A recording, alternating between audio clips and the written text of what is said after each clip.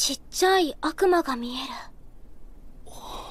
いっぱい泣いてて、助けてあげないと死んじゃいそうなほど傷だらけで。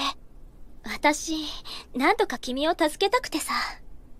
じいちゃん私のこと、忘れちゃったわけじゃないでしょ。サタン・ジャコブ。私の目的は、エンティスラを、天界と魔界をあるべき形に戻すこと。君がこの世界に来たのは偶然なんかじゃない。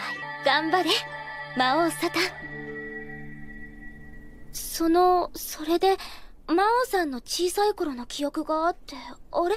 どうかしたんですか？魔王さん。いや何でもねえ